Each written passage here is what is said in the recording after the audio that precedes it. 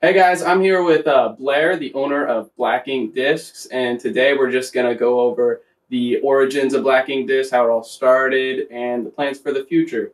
So, welcome, Blair. Uh, today, uh, we're just gonna go over like like how did you guys start? Like, how long have you been a company, and like what are the roots? Like, where did Black Ink come from? So, uh, like most things, well, not like most things, I guess, but fortunately, Black Ink started as a hobby and it grew into a business. I was very fortunate with that. Um, so basically, Black Ink Discs used to be Black Ink Custom Disc Dies. So it used to be a die company. Oh yeah. So what you're talking about me with the Cricut, Mhm. I used to take uh, you know the, the same type of thing and take like a exacto knife and cut out designs and dye. it. I used to do that by hand. It would take me an hour, 2 Mhm. hours, three hours to do one disc.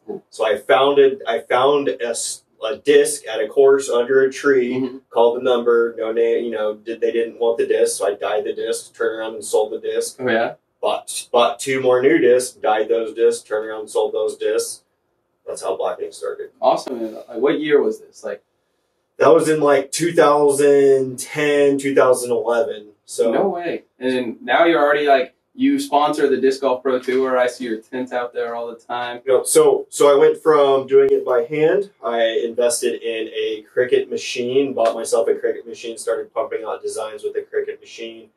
Uh, after the Cricut machine, I got all the way from dyeing. I want nothing to do with dyeing anymore. I started to do it doing my own custom stamps on disc, and that's where I went from there. I just started mass producing custom stamps. Yeah, so you do do you do most of your sales online or just like in your store with all these discs here?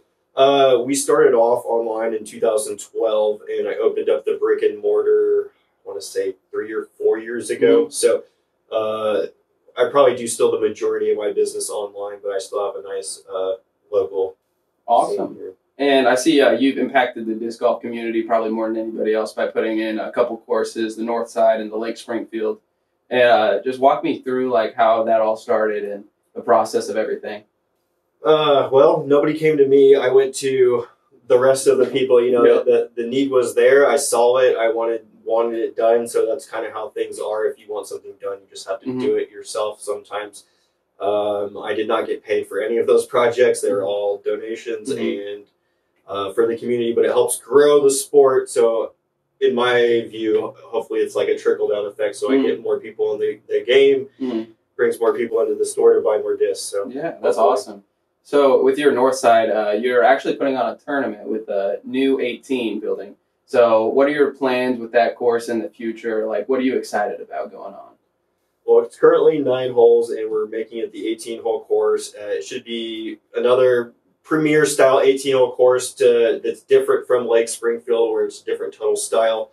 So I'm happy to host a lot of monthlies, tournaments there, and you know just build the community. Hopefully, get another course in the future. Yeah, no, it's been awesome. I love playing those two courses. They're probably like I'll go there at least one of them once a week, more than anywhere else. So in like the next like five years, you plan on putting any more courses in the area? Do you have any like spots for an idea? I would love to. Um, it's or less getting the land to do so. You know, uh, if Springfield's willing, I would love to continue to grow. That's my focus. I want to grow the area here in the area that impacts me and the people in the area versus just in the Midwest. I want to impact the, the area that's closest to where we live, where I live. Yeah, no, that's huge. And uh, probably about one more thing um, with your design process, you being like a creative individual, starting off from just a Cricut machine, how has that adapted from the Cricut machine to mass producing your custom stamp disc and sponsoring players with their custom stamps as well?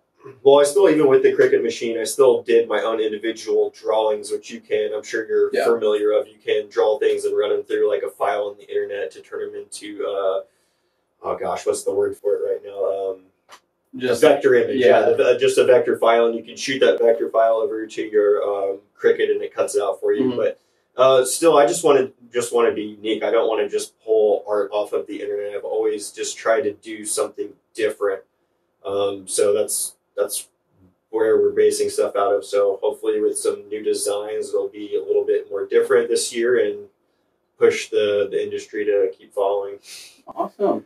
Well, I appreciate you. That's all we have for today. Thanks. Uh, thank you for just having this conversation and being here today. I appreciate you for everything you do. Like your courses are awesome, your discs are awesome, and you've probably made more of an impact in the disc golf community than anybody has ever walked around here.